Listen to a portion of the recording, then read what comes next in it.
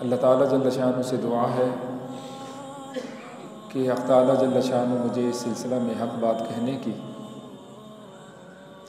ہم سب کو دین کی باتیں، توجہ، دھیان سے کہنے، سننے، یاد رکھنے، عمل کی توفیق اور دوسروں تک پہنچانے کی توفیق سے مالا مال فرما دیں۔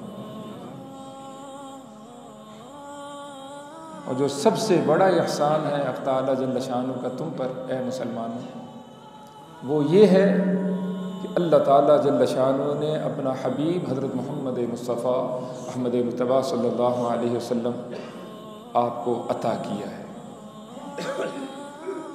اس نعمت کا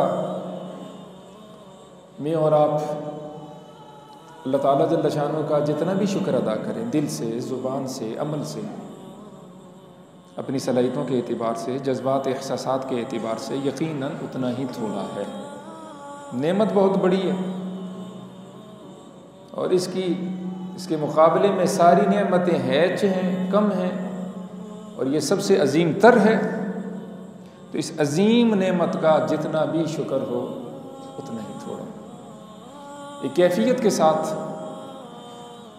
جن کو عربی آتی ہے، ترجمہ یاد ہو جاتا ہے، مفہوم سمجھ میں آ جاتا ہے، ان کو یہ کہنا چاہیے، رضیت و بلّہ ربا و بال اسلام دینہ و بھی محمد صلی اللہ علیہ وسلم رسول و نبیہ یا اللہ میں خوش ہوں۔ بعض اوقات عربی میں وہ کیفیت نہیں بنتی جو اپنی زبان میں بن جاتی۔ ہے بندہ کہتا ہے استغفر اللہ استغفر اللہ ٹھیک ہے، کیفیت بنے گی بعض اوقات۔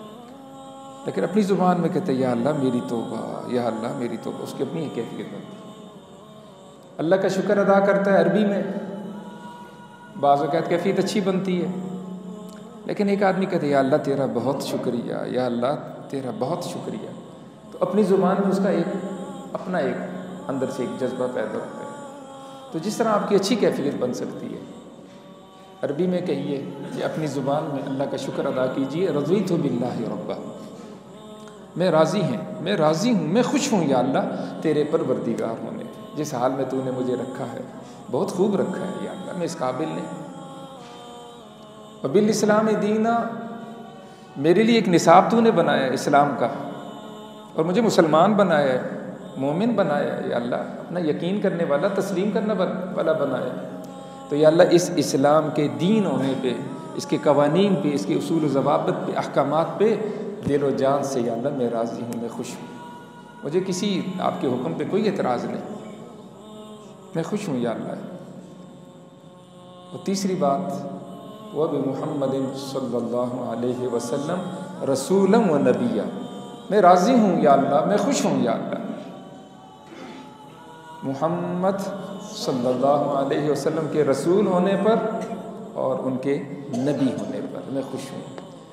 حضور صلی اللہ علیہ وسلم کے ارشاد مبارک ہے، جو دس دفعہ صبح گئے، دس دفعہ شام کو اس جملے کو کہتے اللہ اس کو موت نہیں دے گا، مگر اس حال میں موت دے گا کہ وہ اللہ سے خوش ہوگا اور اللہ اس سے خوش ہوگا۔ ساری زندگی تو گن گاتا رہے، یا اللہ جو جس حال میں تو نے مجھے رکھا میں خوش ہوں۔ یا اللہ جو نصاب تم نے مجھے کامیابی کا دیا ہے، قرآن و سنت کی روشنی میں، دین اسلام کی روشنی میں، یا اللہ مجھے کوئی اعتراض نہیں، مجھے قبول ہے، میں خوش ہوں۔ اور ساری زندگی یہ دس دس دفعہ صبح شام اقرار کرتا ہے کہ حضرت محمد مصطفیٰ احمد مطبع صلی اللہ علیہ وسلم میرے رسول اور رہنما اور اللہ کے نبی ہیں، اللہ کے قاصد ہیں، میں ان کے رسول نبی ہونے پہ، پیغمبر ہونے پہ راضی اور خوش ہوں۔ تو یہ ہمیشہ خوشی کا اعلان کرتا رہے۔ آج جائے تو یہ ناخوش جائے، یہ نہیں ہوگا۔ پر میں بھی اس سے خوش ہوں گا اور یہ مجھ سے خوش ہوگا۔ اس کا اہتمام کریں گے۔ جی